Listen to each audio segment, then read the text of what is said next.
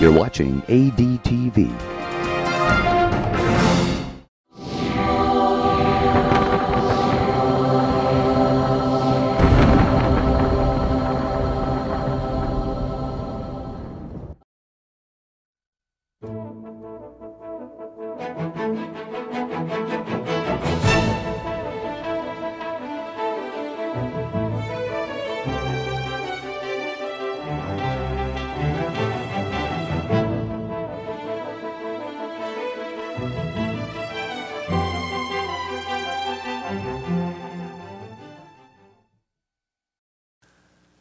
Tonight's lecture is titled The Genes of Genesis. And somebody pointed out to me that there's quite a similarity there between genes and Genesis. One could actually read the genes is.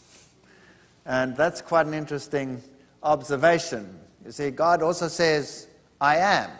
He is, so why can't genes is? Well, we're going to talk tonight about the philosophy behind natural selection and the science of evolution in general.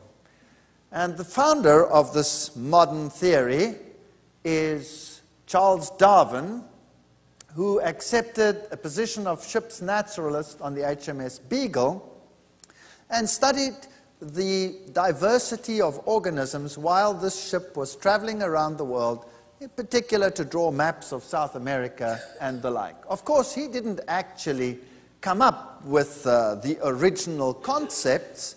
They have been around for a long, long time, even since the time of the Greeks.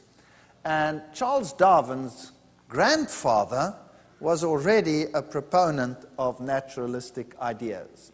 He also had theological, theological training, and Charles Darwin believed at the time that he was active on the ship, he believed at that stage that God had created immutable, unchangeable species.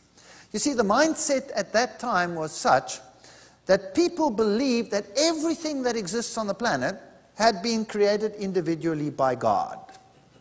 And of course, naturalistic science excludes that possibility. Now, when Charles Darwin was traveling on this beagle, he came up with the idea of natural selection, and we'll talk about that in some detail in a moment. Basically, this is the concept.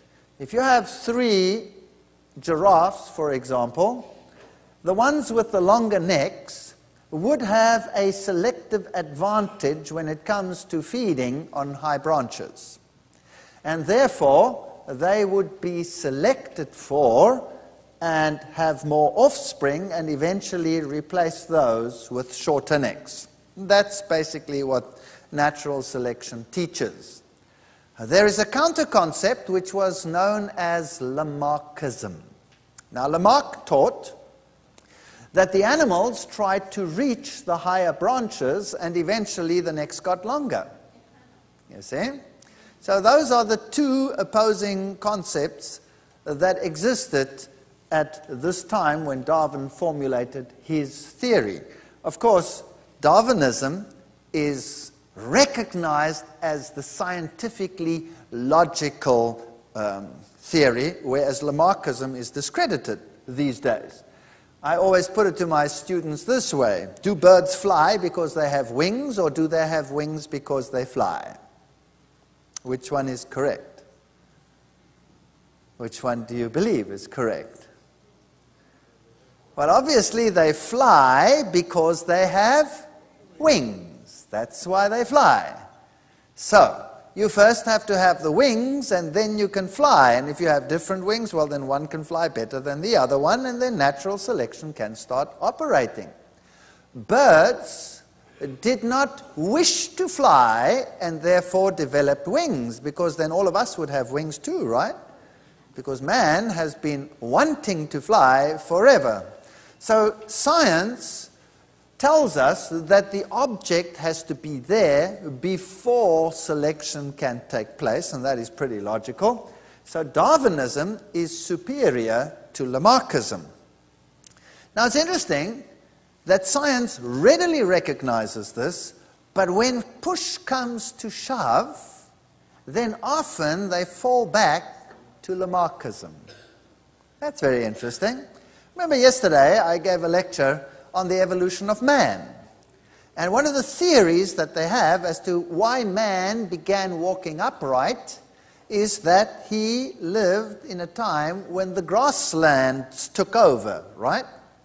And so they couldn't see over the grass, and what did they do? They stood up on their hind legs to look over the grass. And this eventually led to the development of upright gait. Is that Darwinism or Lamarckism? That's Lamarckism. Isn't that interesting? So science shoots down Lamarckism but uses it when it finds it useful. Actual fact, you should conjecture differently on that issue. Now, remember what I said. When Charles Darwin was traveling on this ship, the Beagle, and he developed all these ideas and took them back into society, he was actually quite a shy man about it. But fortunately for him, he had another man, you can see with a much sterner uh, expression on the face, Huxley, who was then known as Darwin's bulldog. And he took up the challenge and championed Darwinism to the scientific world and is credited with conquering for science in a debate with Bishop Wilberforce which he didn't actually win on the grounds of his science, but won on the grounds of the ridicule and contempt placed upon the science by the bishop. So you see, the attitude was what determined the winner and not necessarily the message, which is quite sad. And it's a, it's a good warning to us to be careful how we approach things. Now, Charles Darwin was very interested when they came round the coast of South America, when they came to this group of islands known as the Galapagos Islands.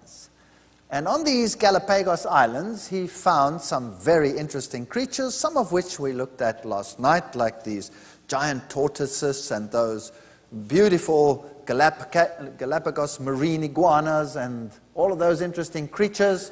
But amongst them also these finches. And these finches were unique. Some of them had large beaks, some of them had small beaks, some of them had much larger beaks, and these beaks were adapted to certain circumstances. So, for example, those with the larger beaks could crush hard seeds and open them up and reach inside. Those with the smaller beaks had to feed on different things, so some of them even developed the method of using tools to get hold of grubs and what have you inside the bark of uh, plants. And so each one of these was slightly different. Now, this was something very strange. You see, on the mainland, songbirds are credited with this variety. But here, the finches showed this amazing variety. Now, if you imagine the time the time frame in which Darwin worked. Genetics was unknown. Gregor Mendel had done his work, but it lay somewhere on a dust pile in some monastery. Nobody knew anything about genetics. So, how inherited uh, characters were transferred was unknown. And then there was this idea that God had created immutable, unchangeable species. And there was a scientist by the name of Linnaeus who took all the creatures that he knew and classified them according to what was to be known as the binomial nomenclature. So everything got two names. So, for example, we are Homo sapiens. We are Homo sapiens, two names. And each creature got its name and it was considered to be a unique creation. And so the species numbers increased enormously until we today have millions of species around. Now, when Charles Darwin looked at these creatures, he thought about this and said, Now, isn't it possible that we started out with one finch family some time ago on these islands, and that all of these evolved out of that original parent pair. Isn't that a logical assumption? And yes, it is a logical assumption. It is quite probable that this is a variation that developed there on these islands. But what Charles Darwin did then is he said, well, then God did not create immutable, unchangeable species. In fact, there is no such thing as a creation. So God was thrown out of the equation. Was it necessary to throw God out? That is the question that we will have to answer tonight. The fact of the matter is, it does seem as though whatever was there was not unchangeable. Well, science has come a long way since then, and we have a whole theory of how everything came into being. And let's take it from the beginning and see what science teaches today. So, how did life begin? Well, science teaches that this Earth originally was very different to what it is today. There was a, volcanic activity. Uh, the atmosphere was totally different to what it is today. In fact, the atmosphere of gas, consisted of gases like uh, methane, ammonia, hydrogen, water, these components. And an, a scientist by the name of Stanley Miller came along and he simulated this atmosphere, passed some sparks through it, and then trapped whatever was formed at the bottom and analyzed it in a laboratory.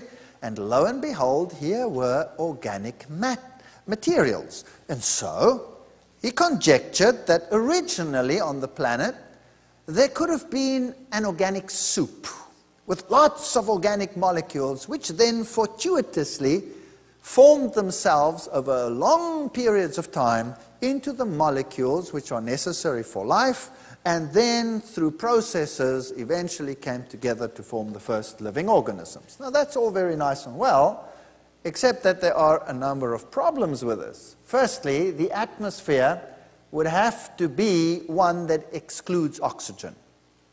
Very important. So, the primitive Earth reducing atmosphere is supposed to have had hydrogen, ammonia, carbon dioxide, methane, nitrogen, and water. And where did these come from? Well, they stated from volcanic gases, although volcanic gases are also associated with carbon monoxide, sulfur dioxide, so it doesn't really quite fit, but nevertheless, if it had, however, been like the present atmosphere, which contains oxygen, then the evolution of molecules would have been impossible. Because oxygen burns up everything. Oxygen would destroy everything as it developed through the process of oxidation. So all scientists agree it would have to have been a reducing atmosphere. Now, what did Haldane do? He passed sparks through such an atmosphere and then trapped whatever was formed and analyzed it. If he had left it there in the atmosphere for another cycle, then everything that would have formed would have been destroyed by the next process. So he had to have a trap. Would there have been a trap somewhere on the planet before? Probably not. But there's another problem. And that is the various molecules of life that had to form needed very different circumstances. For example, if you look at the amino acids, uh, you have different amino acids, and each one of these amino acids has this NH2 group, this amino group over here. And this NH2 group had to, of course, be derived from this atmosphere, and it comes from the ammonia. But now, if you have ammonia in the atmosphere, then sugars don't form. So here is a big problem. Plus, you need a very acid environment in order for these to form, and then you would have to have only the right ones to form. And that would not happen because when you pass these sparks through it, you get left handed ones, you get right handed ones, and you get all kinds of amino acids where the amino group is attached to any one of these carbons along the chain and not necessarily to that first carbon next to this group over here, which is the carboxyl group. And so, if you have just one wrong amino acid somewhere in a chain, everything is non functional. So, here's a major problem that you needed the right circumstances, plus you needed mechanisms of selecting just those amino acids which are useful to life. One wrong one in there, and you would have a problem. Plus, even if you get the amino acids, how do you get them to come together and join together? You need enzymes for that. That means you need a protein to make a protein. So, who was first, the protein or the protein that makes the protein? See, it's a bit of a problem. The next problem is if you want to have the building blocks of our DNA, what our genes are consisted of, are formed of, then you need totally different circumstances. For these to form, you have to take all the nitrogen out of the atmosphere, change it into a cyanide solution, multiply that by 10, dissolve it in the ocean, and then you can get these molecules. But then you wouldn't get anything else.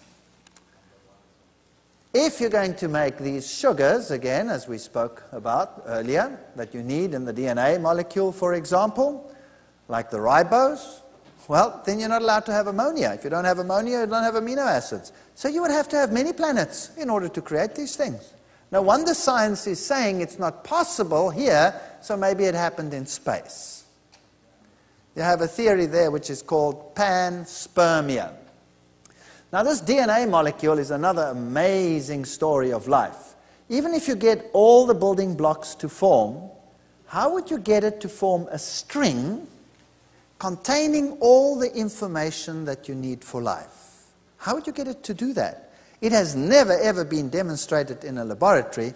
It needs a very complex enzyme system that will form these high energy bonds that are locked into this molecule. And the probability of these molecules forming is so remote so that we could say they are non existent. So let's have a look at what the probability would be, for example, of a bomb exploding under a pile of wood, going boom, and then falling down from the sky and forming this perfect functional little house.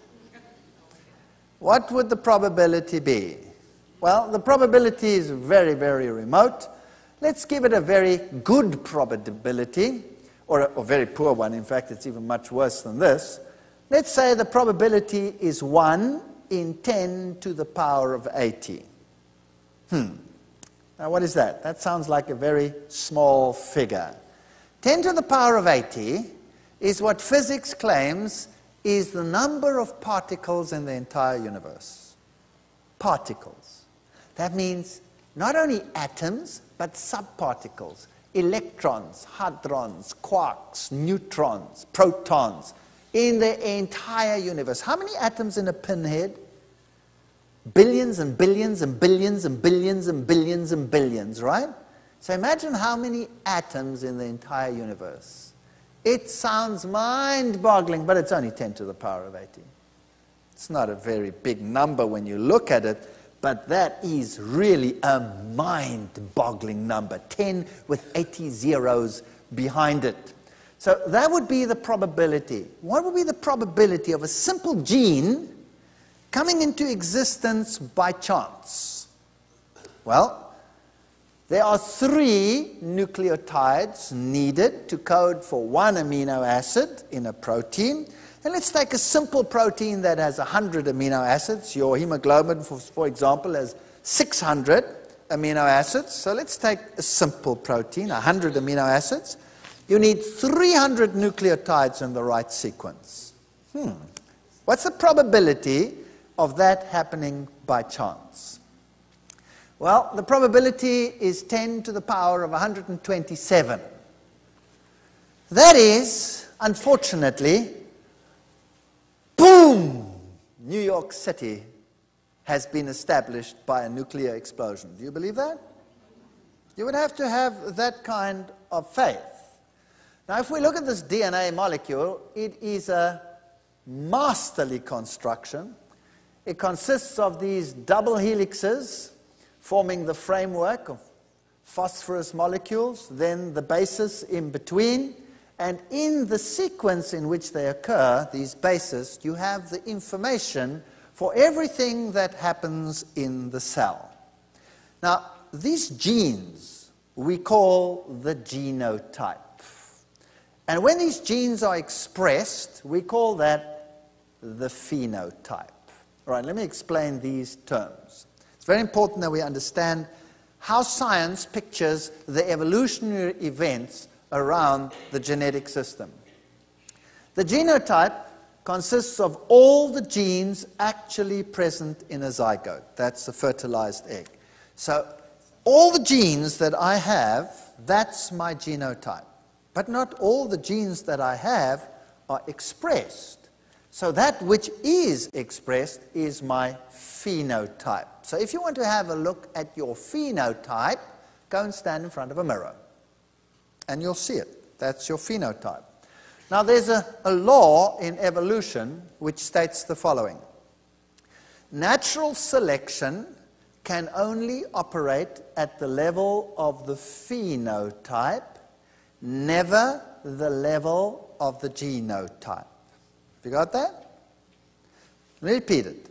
Natural selection can only operate at the level of the phenotype, never the level of the genotype. Why not? Well, let me illustrate with an example. Two people walk in wherever, game park, in a game park. And let's say there are wild animals around in the game park. And the one person is long and lean, and the other person is short and plump. And now a predator comes from behind the bush and attacks them. A lion, a bear, whatever you would like it to be. And they both take off like greased lightning. Which one is probably going to end up being a meal? The short fat one, right? Okay. So, short fat was the what? The phenotype. That's right. Short, fat phenotype hasn't got a snowball's hope in hell against the lean, mean phenotype. So by natural selection, short fat goes, long, lean, mean stays. Is that correct? That's how it works. The animal is not concerned with all the other information in your genes. It's just interested in how you look and how fast you run. Is that correct? That's it. So natural selection does not work at the level of the genotype. So, what does work at the level of the genotype? How are genes changed over time? Not by natural selection, but by mutations. That's right. And how do mutations take place? They are random, they take place by chance, and once they are expressed in the phenotype, then they can be selected for. Does that make sense? Now remember, Charles Darwin didn't know anything about this. Let me simplify this for you so that everybody can understand this. Now, I know that I'm speaking to some who have biological training and some who have no biological training. So I'm trying here to target all of you. So if I shoot over your heads tonight, there will be plenty that you can take home with at the end of the day, in spite of that. If I shoot too low for your liking, then please tolerate that because there are people here that would otherwise take nothing home with them. Is that fair? Good. So let's sum up. This is your genotype. That's the information in your genes, in your DNA.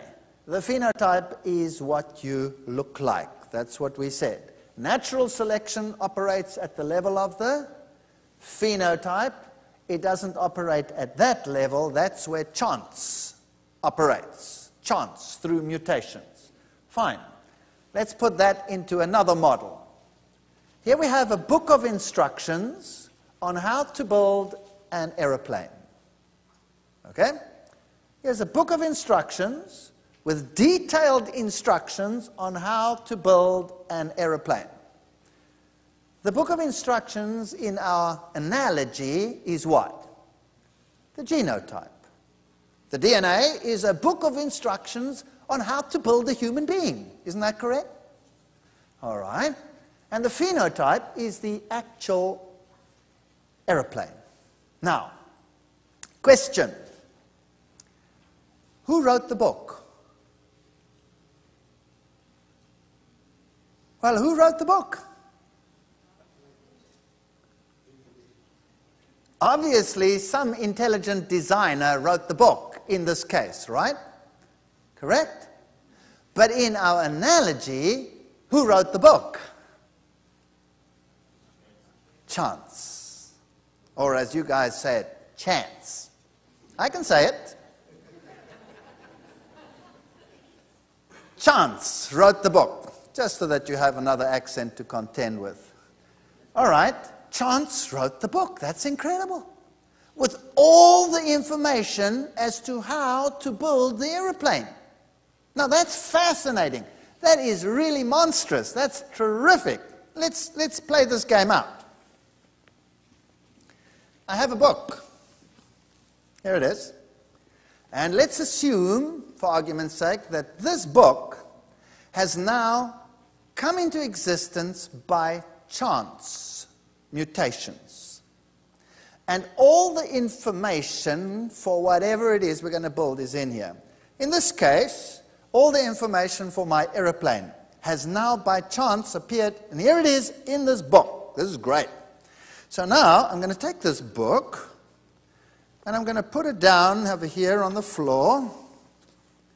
There it is. It's in my bookshelf. There it is. And I'm going to wait for the aeroplane to appear.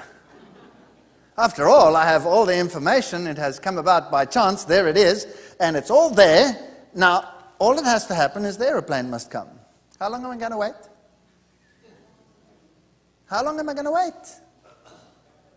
Well, come on. Forever. I'm going to wait forever and ever and ever. Is it enough for the information to come into existence by itself? Yes or no? No?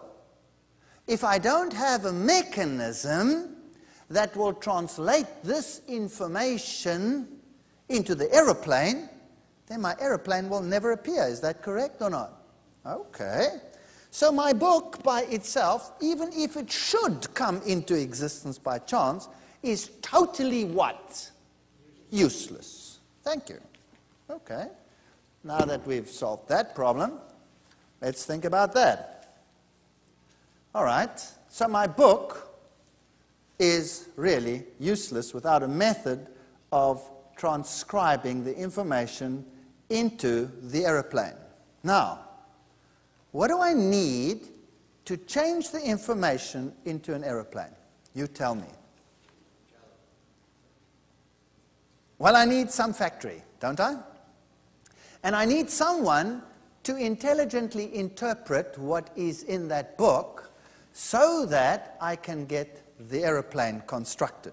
So I need some assembly line and I need some workers. Or if I don't have workers, what do I need? I need tools and machines, robots, if you like, that will do it for me. Is that correct?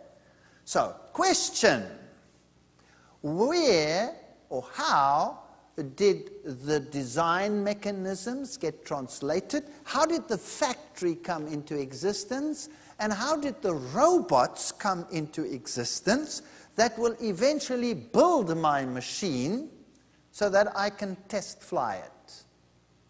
According to my analogy, natural selection will only start operating when once what has happened? The aeroplane's there.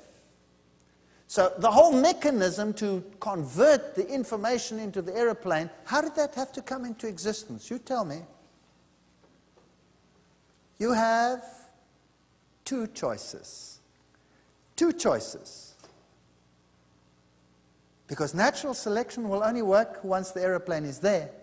Then I can only see, oh, it flies or it does not fly, right? So, how did the mechanism come into existence? Give me the choices. The first one is chance. The second one is design.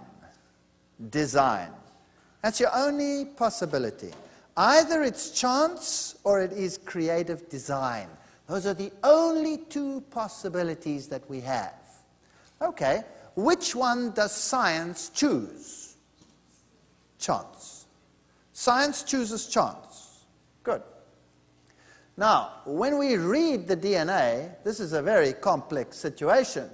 In fact, we don't even read the whole of a gene, we read only portions of it called introns and uh, exons, and the exons are transported and translated and taken outside, and then there is a highly complex factory with robots that changes the information from the gene, in other words, reads it, and then translates it here into another form of messenger, which then passes out through the cell combines with a structure we call a ribosome, which is an assembly line, a factory.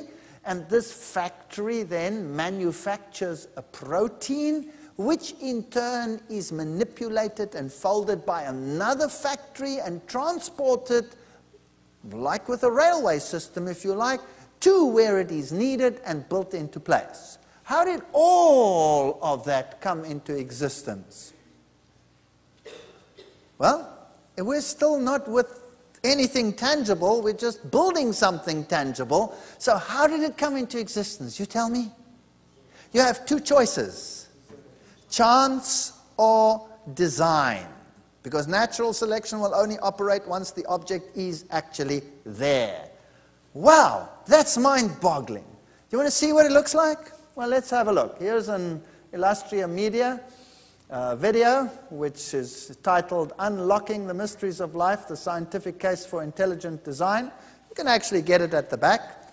Uh, it is sold at the back, and you can have a look at an animation of what happens. With computer animation, we can enter the cell to view this remarkable system at work.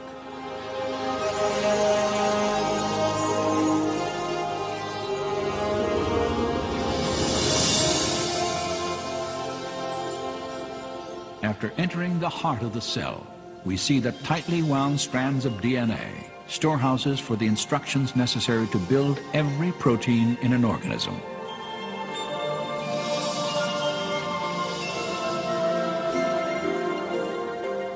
In a process known as transcription, a molecular machine first unwinds a section of the DNA helix to expose the genetic instructions needed to assemble a specific protein molecule. Another machine then copies these instructions to form a molecule known as messenger RNA.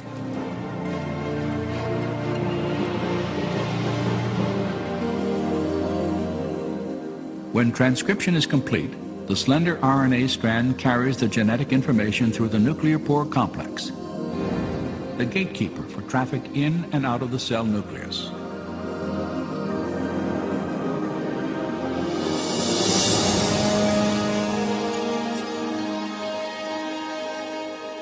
The messenger RNA strand is directed to a two-part molecular factory called a ribosome. After attaching itself securely, the process of translation begins.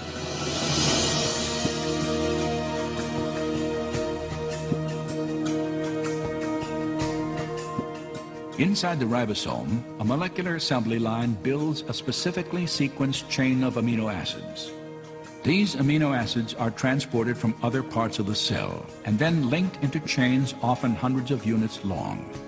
Their sequential arrangement determines the type of protein manufactured.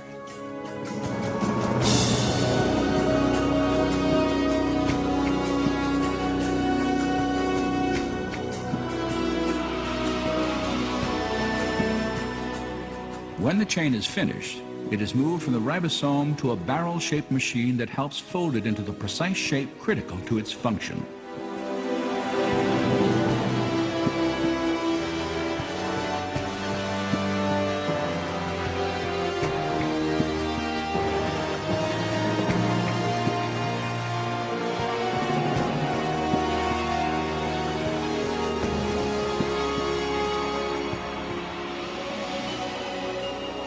After the chain is folded into a protein, It is then released and shepherded by another molecular machine to the exact location where it is needed.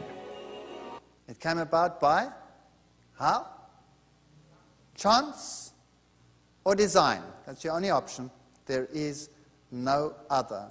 In actual fact, what you saw in this animation is highly, highly oversimplified. When you consider what happens in a cell as that DNA unfolds and the enzyme systems that are required to produce this molecule, it is mind boggling. And when it passes through that nuclear pore, it passes through with such precision that nothing else may enter and leave while this huge molecule is passing from one side to the other. Everything is highly precise with recognizing symbols and all kinds of structures. And one mistake, and you're a cabbage. And it came about by chance or design. Because until that protein is actually there, natural selection cannot say whether it will work or whether it won't.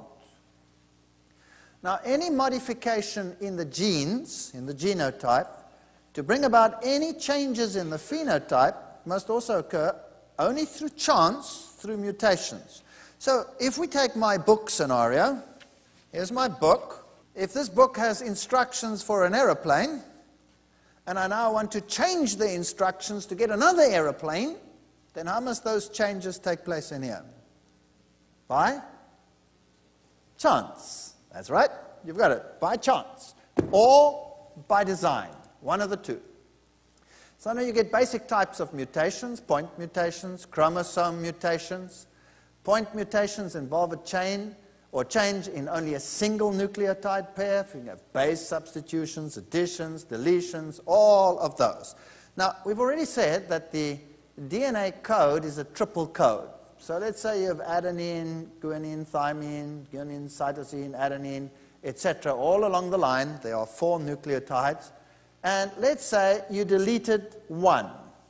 You deleted one. Boom, you take it away. Then instead of having AGT, GAG, GCA, you would have AGT, AGG, CAT, TCA, GC, GGC, and the T. And that means that the entire message from the second one on would be changed. What does that mean? Let's make that simple. Let's use a triple letter code, the cat and the hat. And I'm going to delete the C, and then my sentence would read the the at. That means the mutation would have made garbled junk out of the rest of the genetic information. Is that correct? So that is why mutations generally are harmful, incredibly harmful. And this is not a mutation. He's just there to look cute.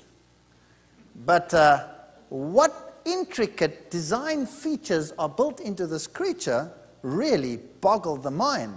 And is there such a thing as a mutation that is useful? Science will tell you yes. They will quote sickle cell anemia and say, well, that's a useful one. You see, if, a, if you have the sickness, sickle cell anemia, and you happen to live in a malaria country, then the malaria parasite cannot get into that sickle shaped red blood cell, and the people don't get malaria so readily, whereas other people do. So there you go. It is positive. Huh? No, it's not positive. Someone with sickle cell anemia is pretty sick. He's pretty sick, so it's not a positive mutation at all. Just happens to be so that in the case of malaria, he'll be slightly less sick than the one that has malaria, but he's still sick. So there is no real positive mutation whatsoever. Now, imagine now the first little cell comes into existence, just by chance. Highly improbable, the molecules, well, they would not have come into existence by chance under the different circumstances.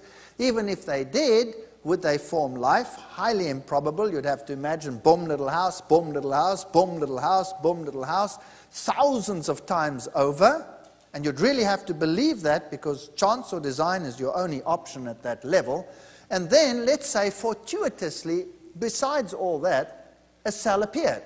Now you have one self. Now, of how many cells do we consist of? Thousands. And they're all different.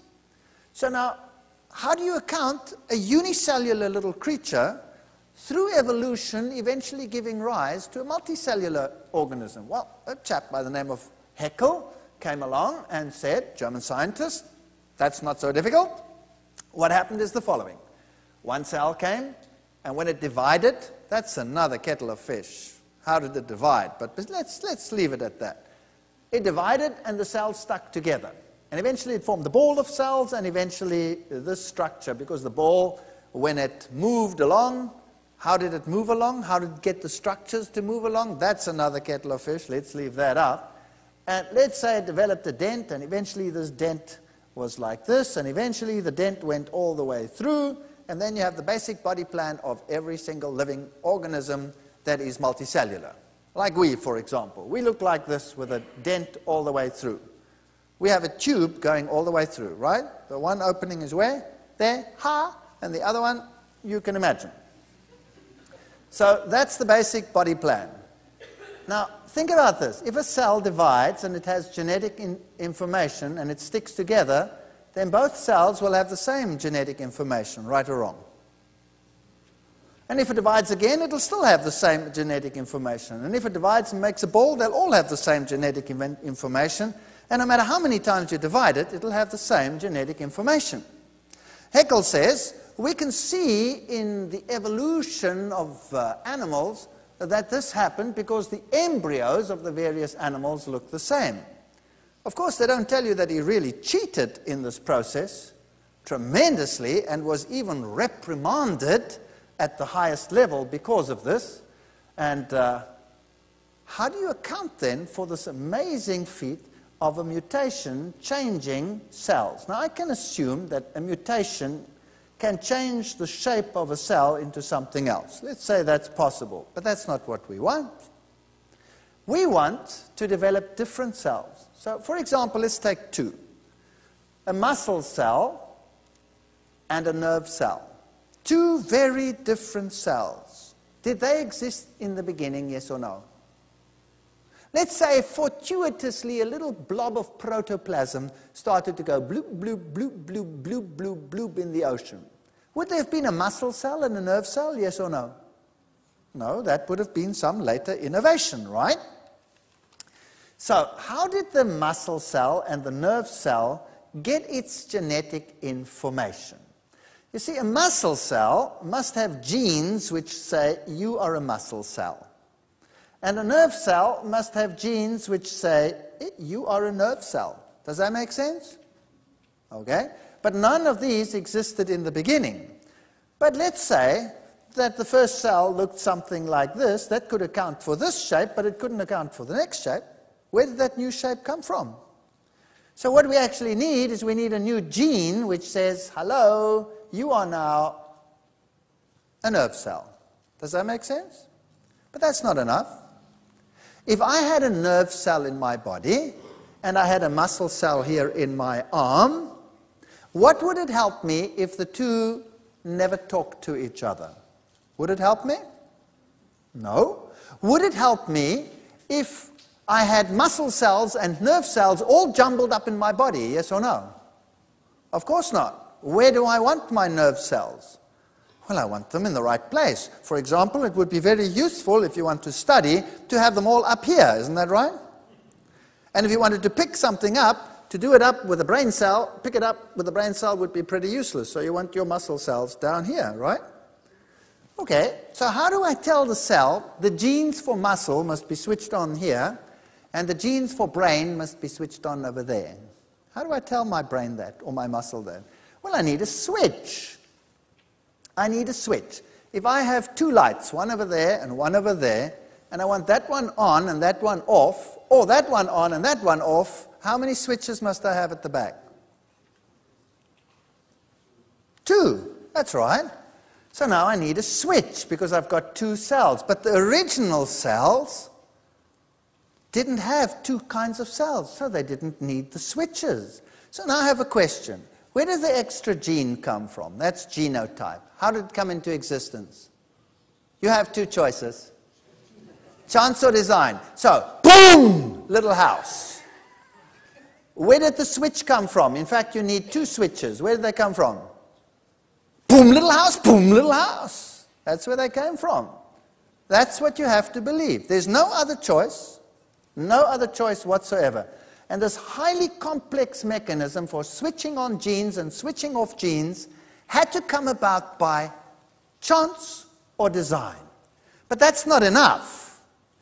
You need a gene which says you look like this. You need a gene which says you look like that. That's two genes. You need a gene which says you're switched on, you're switched on. That's another two genes. Those are the switches. That's not enough. You also need genes to control the physiology so that this one will function differently to that one. And you need genes controlling the embryology so that they will work together. Hello, where do those genes come from? It's genotype. Natural selection doesn't work there until this thing actually works. Boom, little house, boom, little house, boom, little house, boom, little house, boom, little house. For a week, you have to say that. You need one heck of a lot of faith for that. All right, we have been discussing in this previous little section of how the genes actually came into existence. They could only have come into existence by chance, and then you have this high improbability of it actually happening. Now you have another problem, and that is the problem of irreducible complexity. Something that is so complex that has to be complete before it will function has to also come about by chance. For example, a wing to fly and a feather to hold the bird up has to come into existence and actually function as a feather before it can be tested as to whether it will work or whether it won't work. Isn't that correct? So these structures, where do they come from? These are questions that are really causing Darwinism quite a headache, as you can see over here. Here's a problem for you. Assume now you find a highly complicated biochemical pathway in a bird. Something very, very complicated. Let's say the Krebs cycle. For any student who has studied this, you know, there are many, many reactions and many, many genes required to make the Krebs cycle work. And then you find the Krebs cycle in this reptile, and you find the Krebs cycle in that insect, and you find the Krebs cycle in that crab, and in that worm, and in that worm, and in this echinoderm, and in these sponges. Whoo! Now you find the Krebs cycle in all of them. What does that tell you? It tells you that they must all be related. And since a, a, bird and a sponge are very, very far apart, that means that this highly complex system must have been there from the beginning. Wow. So if you take all the complex biochemical pathways that are shared by every living organism under the sun, that means they were all there from the beginning. Whew. Now we're thinking, boom, New York City. Boom, New York City. With all the elevators working and the doors having locks and the whole tutti with the sirens blowing the works. Everything coming about by chance. You really have to have a lot of faith for that. Let's have a look at selection. Selection eliminates deviant phenotypes and normalizes the population if it's stabilizing selection. Let's look at just one form of selection. It, what does it do? It eliminates deviant phenotypes. Okay. We have two aeroplanes. One flies well, one does not fly well. I will select one and scrap the other. That's what you do. That's selection. Let's take that to biology. Let's look at the peppered moth. Because the population possessed dark genes, peppered moth have been adapted to increasingly sooty industrial areas of England. That's the theory that they go. And then they show you this model where you have a light moth on a light background and a dark moth on a light background, or vice versa, a black moth on a black background and a white moth now on a black background. And they say it changed because of the suit. Actually, that's a lie. It didn't happen like that. It didn't happen like this at all. They stuck these onto dark and light backgrounds. This is not what really happened. They just supposed that this could happen. All right? But let's run along with their theory. It's a nice theory.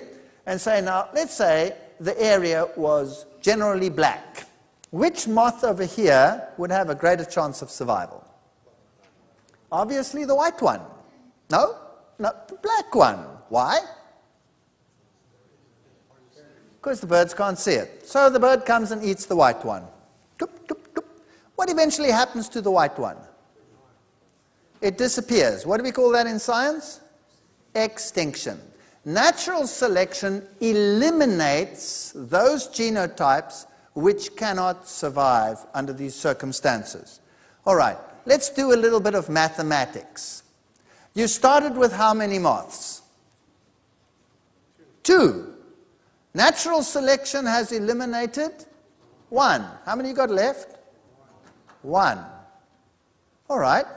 Has natural selection now made more or less? Less. That's right. All right. Natural selection has taken two, eliminated one, and you have one left. Now, my question to you is the following How can you use a process, natural selection, that makes less and less to make more and more? Because you start with few animals and you now you want to get lots and lots of animals on the planet. Isn't that right?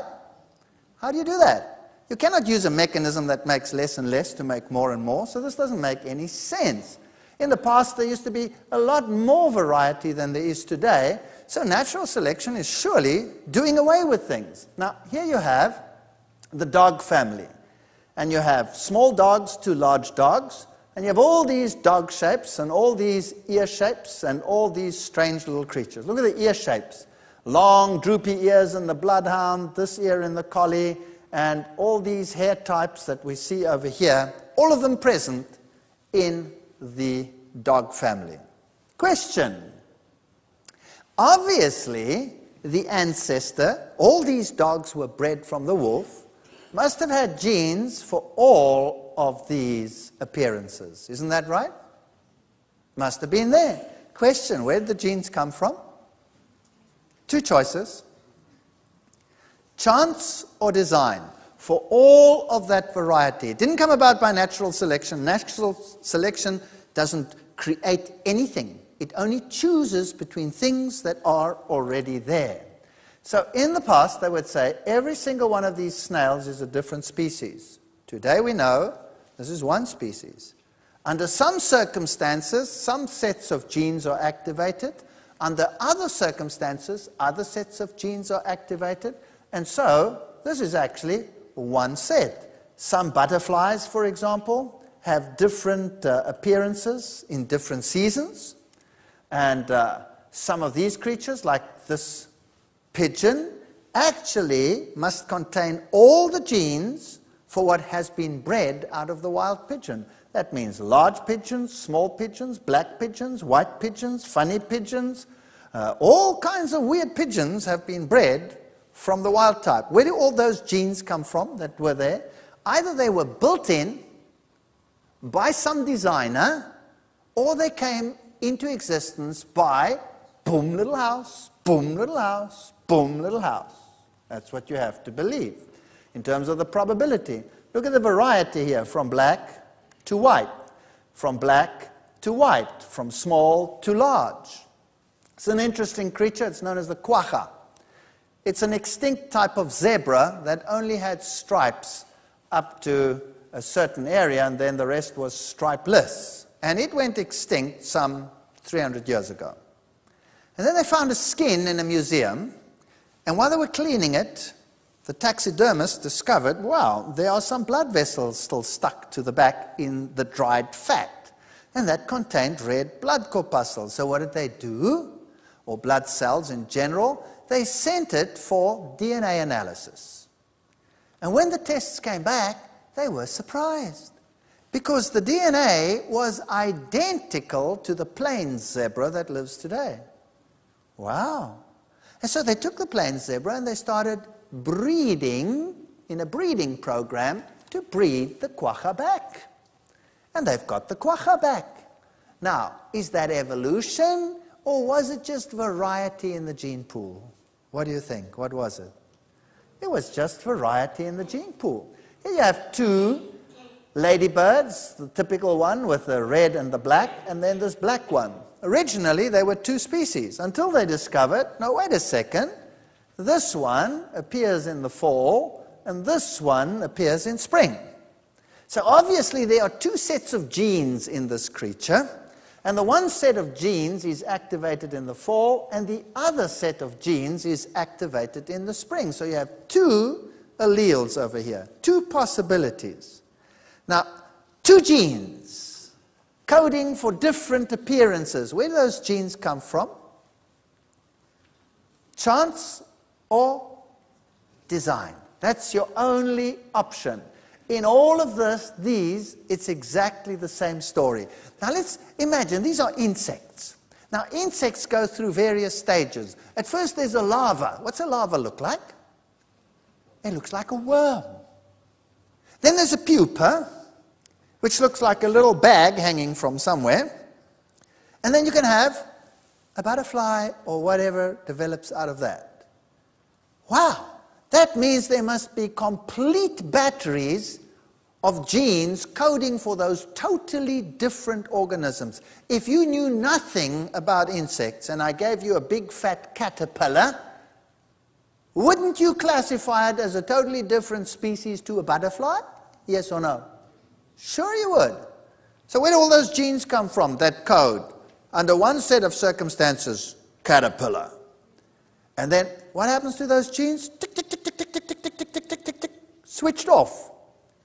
And another set of genes in the DNA are activated. Tick, tick, tick, tick, tick, tick, tick, tick, tick, tick, tick, tick, boom, pupa. And then those are switched off. And another set is activated. Tick, tick, tick, tick, tick, tick, tick, tick, tick, tick. And you have a butterfly. Three complete sets of genes in that organism. Each gene having to come about by chance or design because natural selection doesn't operate at that level. Wow. Mind boggling. So, if you want to have a mouse that you cannot see on the background, like Perognathus californicus on a white background or on a black background, two sets of genes each time, boom, little house. Rabbits that can change their colors in different seasons, boom, little house, boom, little house. Lizards that can do the same. Any process that modifies the genotype to increase the variation. Now, of course, science thought about this and said, wow, we have a problem. We have a huge problem here. So, if DNA cannot be controlled through natural selection, everything happens by chance, and the genes have to come about by chance, and then natural selection still comes and destroys parts of them and only keeps some, we're getting less and less. How do we get more and more? Is a problem. And then they came up with the idea ah, we know sexual reproduction increases the variety. Well, that's very nice. So, one of the processes that can modify the genotype to increase variation is sexual reproduction. But how does it come about? It had to come about by chance. Because unless the babies are there as a result of the union, you won't have more variety. Does that make sense? Well, let's think about that. So, fertilization, the whole process of sexual reproduction, the whole process of meiosis, one of the most complex struct structural processes, independent assortment, crossing over, all of these things came about by chance. Male and female came about by chance. Wow. Because unless you have a male and a female, and unless that male and the female pair, and unless that offspring is actually born, we won't have an increased variety. So, how did everything come into existence up to that point? You have two options chance or design. Now, what does the Bible say? The Bible says that God created them male and female. Is that correct? And everybody knows that everything comes from the female, isn't that correct? All right, is anybody here born from a male? Hello? Anybody here? No? The Bible says that Eve came from whom? From Adam. Now, is that scientifically logical? Shouldn't Adam have come from Eve? Yes or no? Yeah, sure. That's the only logical way to think about it. But let me tell you something. Eve could only have come from Adam. Why? Well, let me put it to you this way. As I stand here before you, ladies, whether you like it or not, I have every gene in me that it takes to make a woman. But do you have every gene that it takes to make a man? Nope. What don't you have? You don't have a Y chromosome. But I have an X chromosome, but you don't have a Y chromosome. So you don't have every gene that it takes to make a man. I always tell that to my wife, and I say, so don't you forget it. She gets very upset with me. so Eve could only have come from Adam. The Bible is quite right on that score. But sexual reproduction and all the processes associated with it had to come about by chance. Here you have what happens. Here's a chromosome. Let's assume that's from dad. And there's one that lines up that is identical. That's from mom. That has similar genes on it with different uh, alleles on it so you could have variety come into there. So we have 23 pairs of chromosomes. Half of them are from our mother and half of them are from our father. And during meiosis, they line up like this. This whole process that makes them do this is just rearranging my letters in a book. It doesn't create an aeroplane. Until the aeroplane is created, I don't know what's happening. I'm just jumbling up letters. Doesn't mean anything yet in terms of natural selection. And so they come together, they divide in this complicated process, and then they do something amazing. They exchange genetic information. Wow. So when I produce germ cells, or my wife produces ova, and those two come together, then this process has already happened. So from my mother and from my father, I create a mix of genes by crossing the genes over. Now, wow, this is not so easy. Now, what you need is you need an enzyme that runs along the DNA, and then you need another enzyme that comes along like a pair of scissors and cuts the one, ligase. And then you need another one which sticks them together.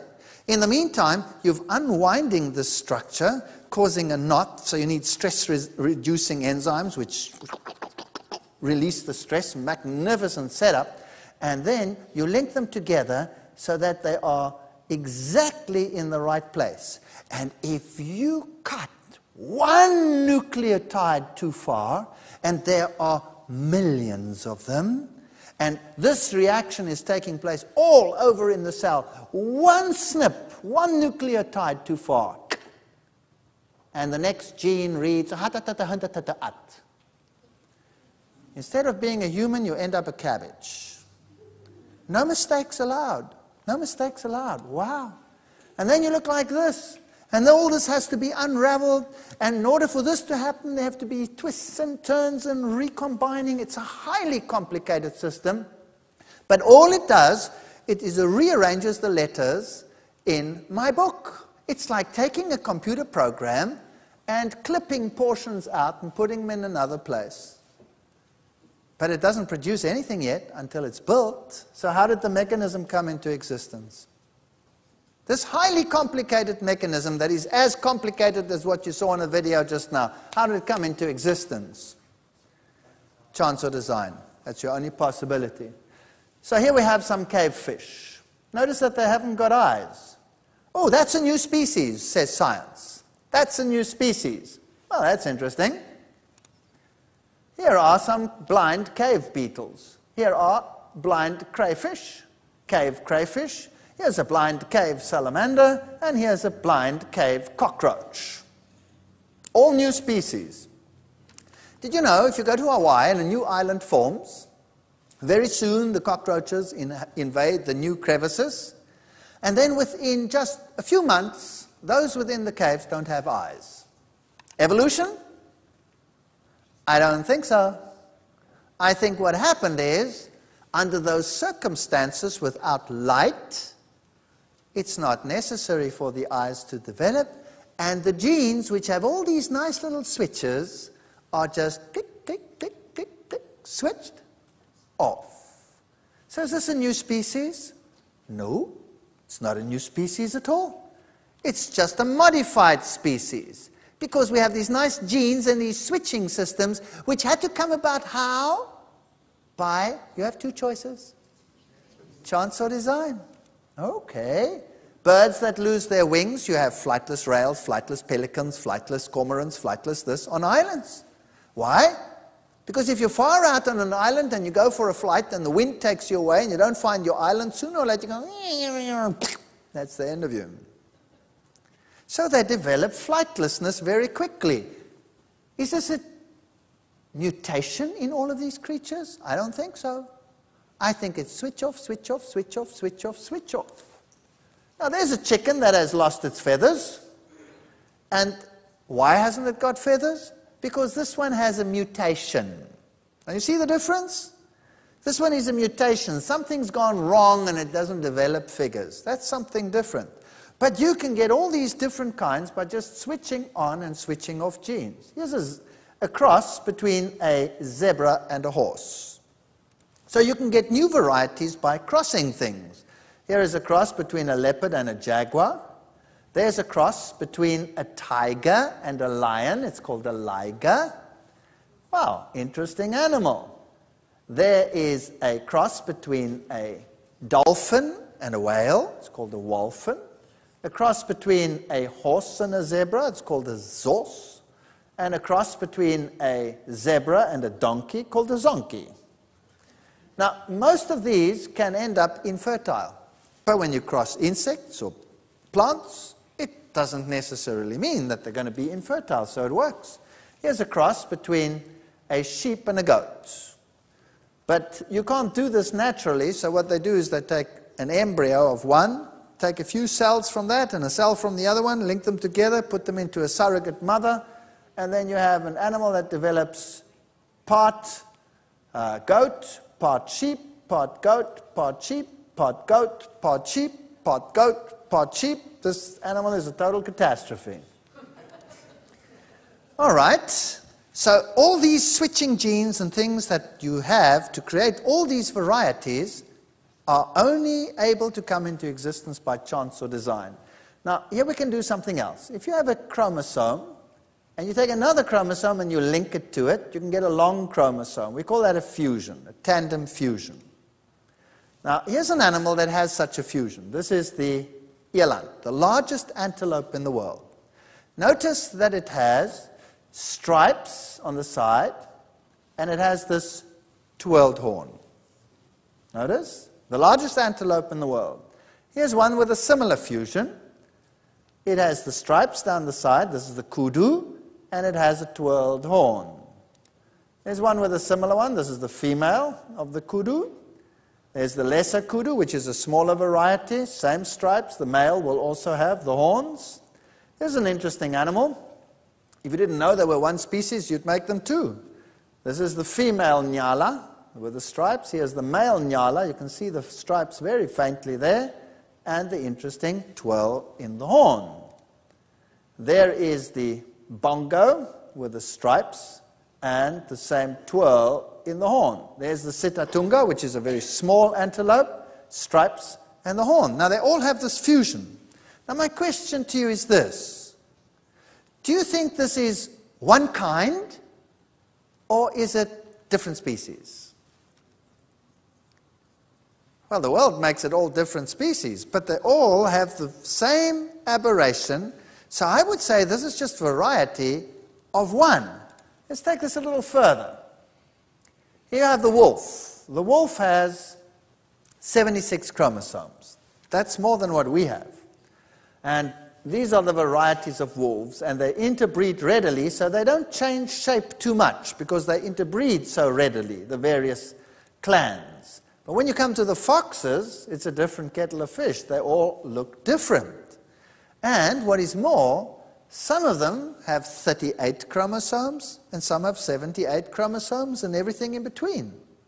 But if you take one with 38 chromosomes, the chromosomes are very long. If you take one with 78 chromosomes, the chromosomes are very short. So what they did is they checked them out and they said, wow, you know what? It's the same information. It's just rearranged. So my question is this. If you look at these creatures and you look at the wild dogs and the dog races today, here's an Afghan and a Belgian Shepherd and a Papillon. There they are. We know that is one species. There's the variety. And these are the wild ones. And these are all different species. But in actual fact, they actually all have the same genes, just slightly differently arranged. It's not new material, it's just rearranged material. So, question of all these wild dogs and dogs and wolves and coyotes, how many do you think went onto the ark? One pair. One pair. And out of that one pair, all of this variety came into existence. Of all those antelope I mentioned, how many needed to go onto the ark? Well, I tricked you there. Seven pairs. Why? Because they were clean animals. These are unclean animals. But again, the reduction in number that you need to take onto the ark is actually quite incredible. If you take the jackal, the fox, and the coyote, are three species. If you, well, in your mind's eye, add the wolf. Now, the coyote will breed with the wolf. Did you know that? In Canada, in central Canada, where the coyotes are very large, they will breed with the wolf. On the coast, the coyote is smaller and will not breed with the wolf. But the coyote is capable of breeding with a wolf.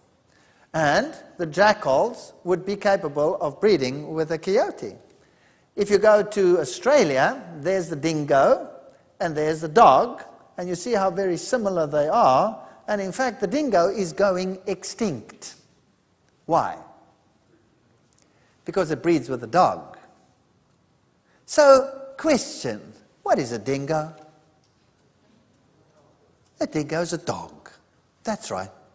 You see, we like as scientists to split everything up into hundreds and hundreds of species when really a kind is a much bigger thing than that. All you need is one wild type, and out of that you can get all the canids dingoes and foxes and wild dogs and all the canids out of one pair in the ark. And you could get it as rapidly like that because the genes are there. For example, if you take two short chromosomes and you fuse them into a long one, that would be using the information in a different way. And so you have mice that have this. You have mice with a few chromosomes, and they are very long like this. And you have mice with short chromosomes like this, but the information, put it together, is exactly the same here as in those two. So the house mouse and the field mice and all of these mice have just got jumbled up information. So how many of the mice went onto the ark of all those different mice? One pair. Very interesting. Then you have differences in heterochromatin, all kinds of interesting things. We have something else that increases variety. We have genes which we call transposons, where you can take a piece of information and take that piece and translocate it onto another piece of DNA. Whew! Don't think that this is a simple thing. All this happens at the level of the gene. You have to cut this gene out transport it to another location, make a snip, open up the DNA, put it in, close it up again, and it's got to be read in the new place. And what can happen then? In the new position, the gene might be read more, and in one generation, you go from a small mouse to a giant mouse. One generation. Just go boom, and it's big. All you have done is taken the one gene and put it in another position. You can do it with a dark mouse, you can do it with a light mouse, it doesn't matter. One simple step. But if you'd taken that gene and you'd cut it one letter too far, what would have happened? Then it would have read, rubbish. It has to be a precise process. So let's think about this. Built in variety in the gene pool so that we can get every kind of color that you can imagine, every hair type that you can imagine, all of these things built into that wild animal, the wolf. Where did all those genes come from? What's your choices? Chance or design? Now imagine this. Everything I'm showing you here is genotype. So it happened by chance. All those genes, boom little house, boom little house, boom little house, boom little house, boom little house, all that variety. By chance. Reproductive exchange, that we have a male and a female, means nothing until the children are there. Boom! New York City. Now we have male and female. Came about by chance. The mechanism, the meiosis, the most complicated systems known to man, boom, came about by chance. The whole mechanisms to build everything came about by chance. The crossing over during meiosis, whereby I can have infinite numbers of children. Did you know just from the independent assortment during meiosis, I can have 80 trillion different children? Whereas if I add crossing over, it is limitless. Will the two that are exactly identical in this hall please stand up? Why is nobody getting up? Because you are all different. Why are you all different? Because your genes have different alleles, and even if they don't, they are differently expressed. That's variety in the gene pool recombination of chromosomes, which gives you all these wolf types and wild dogs and all these antelopes. Chance or design. Transposable DNA, this DNA that can jump from one place to another. Chance or design. Some animals, when they are under stress, will totally rearrange their DNA. They'll take it and jumble it up, and a whole new batch of offspring develops. For example, um, Naked mole rats are like that. Amazing. There's one queen, she breeds. If times get tough, then she has all these different ones. And all of these mechanisms were totally unknown to Darwin. And all of them could only occur by chance or design. So now, imagine that you are now equipped with this new information. And you are a new Darwin. And you come to the island and you find, instead of the finches, you find loxops. And you see all these varieties. What would you say? What would you say? Would you say, well, because there's so much variety and they all come from probably one pair, therefore God did not create? Would you say that? You would no longer say that. You would say, wow, what a built in variety in the gene pool. Wouldn't you say that? Absolutely. So the variety must have been built in. So then let's go to the human race. There are all the different races, and you can look at the different features. The men, of course, are far more handsome than the women, as usual. You can see that.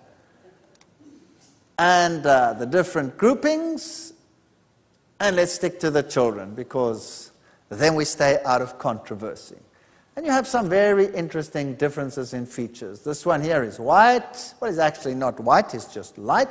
And this one here is dark. And this one over here, the eye structure is slightly different here as well. And this Filipino boy, the eye structure is slightly different. All the different races. Where'd they come from? What's the difference between them? Is the one superior to the other, as people would imagine? Well, if you are equipped with this information, then you will know that there is no difference between them whatsoever on the genetic level. White versus black, for example, is just the way in which the gene for melanin production is expressed. I can produce melanin, I have the gene, therefore, for melanin. If I lie in the sun, I go darker, so I produce more melanin. A black person just has a more active expression of the same gene that I have, so there's no genetic difference there. Just the controlling mechanism is activated differently, that's all. What about the difference in eye shape that we have in the Eastern and the Western societies? Well, it's just the way in which the fat is deposited in the eyelids that is different. It's a purely biochemical process which is activated by the same genes as we have, because I also have fat in my eyelids. So, is there a difference? No, the expression is different. The eye color, how is that determined? By different batteries of alleles. So I have brown dominant, blue recessive, etc. So if you have, for example, two parents with bright blue eyes, and blue is recessive, then their children will have what color eyes? Blue. If you have one parent with brown eyes and one parent with blue eyes, then what will the color of the eyes be? Can be anyone. It can, if the, if the brown-eyed one has only the dominant gene, then the children will have brown eyes. If he has recessive and the other one, it can be any one of them. So I always explain it to my students like this. If both your parents have brown eyes, or one of them has brown eyes, and your brothers and sisters have all kinds of eyes, that's fine. If both your parents have bright blue eyes and your brothers have brown eyes, well, then the father was probably the postman. But even then, I could be wrong. Even then, I could be wrong. Because sometimes you can have the gene and it's not expressed. Let's say you have the gene for brown and it's not expressed and it ends up being a different color. Could be blue. So, what we are seeing here is a tremendous capacity for variety. Here you have Drosophila molli and Drosophila digressa. And they look totally different. Notice that this one has very red eyes, this one has almost black eyes, some of them have white eyes, some of them have no eyes, some of them have long wings, some of them have short wings, some of them have no wings, some of them have one body, some of them have two bodies, but they're all fruit flies. One more question. There's a piano. Imagine that the keys on the piano are the genes. How many tunes can I play on the piano? An infinity, an enormous number, infinity, number of tunes. Is that correct? Yes. And if I had a guitar over here, how many tunes could I play on the guitar? An infinite number of tunes. And so I could go through every musical instrument. But how many guitar songs could I play on the piano? None. It remains a piano. And I can express it in various tunes. Same with our DNA. So God must be a lover of variety. Does that make sense? And all the gene systems and all the varieties that we see must be an expression of that love for variety. That's your only choice, unless you want to believe that all of these structures, with all their complexity that we spoke about tonight, came about by chance. I believe you need more faith than anything else to believe that. Nobody in his right mind, if he picked up a watch, would say that came about by chance. And the processes that we saw in the cells that had to come about by chance are millions and millions of times more complex than anything man has ever devised, including everything it took to travel to outer space. Nothing comes even close to the complexity of what happens in a cell. And it came about by chance. As for me and my household, I prefer to believe in a designer. But the choice is yours. You can, if you want to, believe in Boom, Little House. Thank you. You're watching ADTV.